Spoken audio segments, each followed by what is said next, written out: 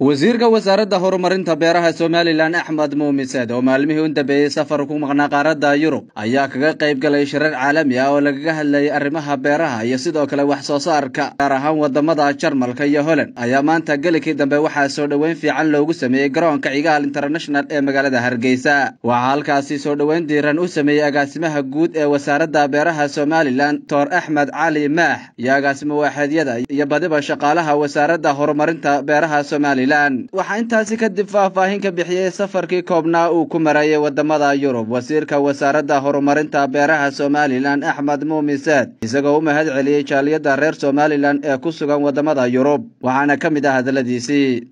Haddaan in yaroo kooban inaga siiyo warbixin kooban inaga siiyo safarkii aan ku maqnaa saad la socoteen laba weeg oo waxla baan waddanka ka maqnaa socdaalkaygu wuxuu ku sar lahaa martiqaad runtii aan ka helnay shir weyn oo caalamiya oo waddanka jarmalka lagu qabanayay magaalada madaxa baarliin ayaan runtii ka qayb galnay.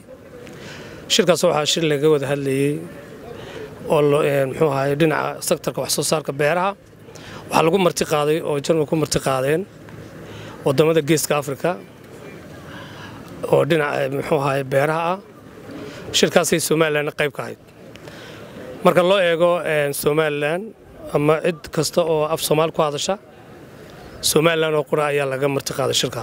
Shirkaas shir caalamiya buu ahaa.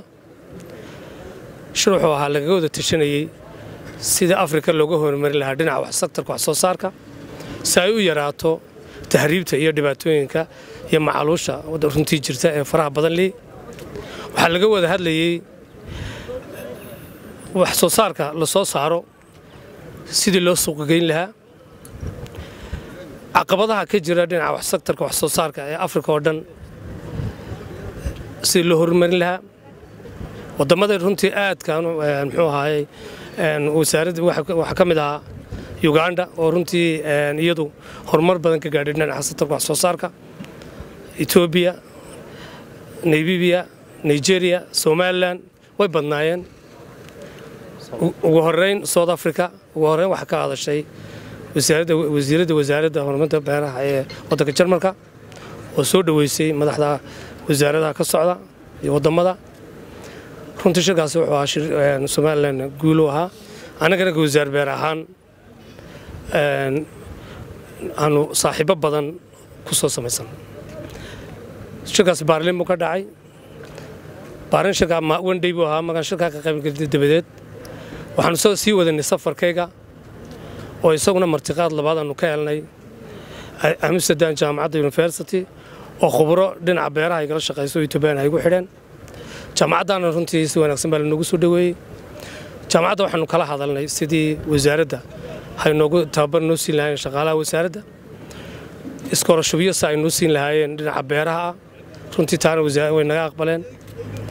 Aad iyo aadna runtii way noo soo dhoweeyeen maadaama halkaanu gaadhnay saddex waddan baan runtii marnay jarmalka iyo holland iyo beljim beljimna waxaanu la kurannay dhallinyadii reer somalilan oo maadaama aan muxuu ahay waddankii soo gaadhay iyagan ma habeen aan la qaatay wakhti si aan uga warramo xaaladda dalka iyo muxuu ahay waddanku xaaladdiisu halkay marayso.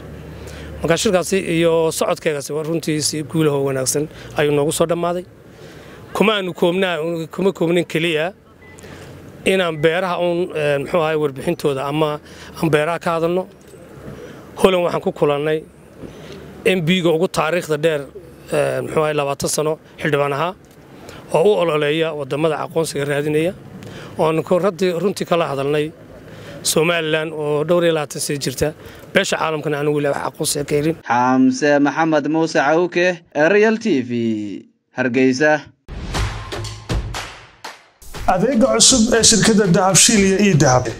Haddaba macmil adeegan cusub ee casrigaahi waxa uu kuu sahlayaa in adigoo jooga gurigaaga amase goobtaada shaqo aad lacag ugu xawshid asxaabtaada iyo ehelkaaga jooga daafaha dunida